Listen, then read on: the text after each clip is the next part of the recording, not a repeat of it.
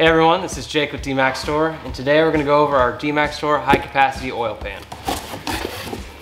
Each pan comes uh, in a custom box with this foam in there, and then you can take out the pan here. It is constructed of cast aluminum and has 13 cooling fins on the inside, and they do go to the outside as well to aid in heat dissipation.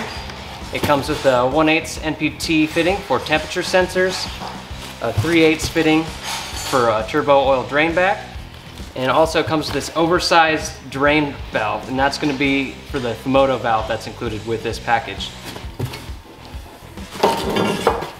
And we're gonna open up the hardware pack, and it has the oversized drain valve, as well as the supplied M6 hardware for that.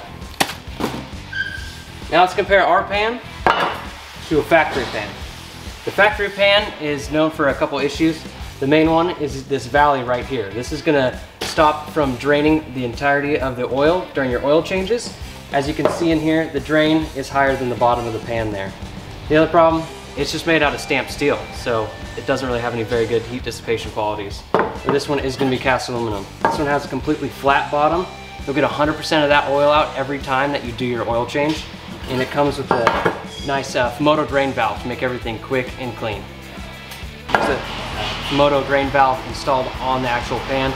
As you can see, uh, compared to this one, Easy Drain that is on the factory pan, it's quite a bit smaller. And if you actually look at the internals, it's about 65% smaller uh, on the factory pan. So a little bit of an upgrade because it takes a long time to drain it with the Easy Drain valve on the factory pan.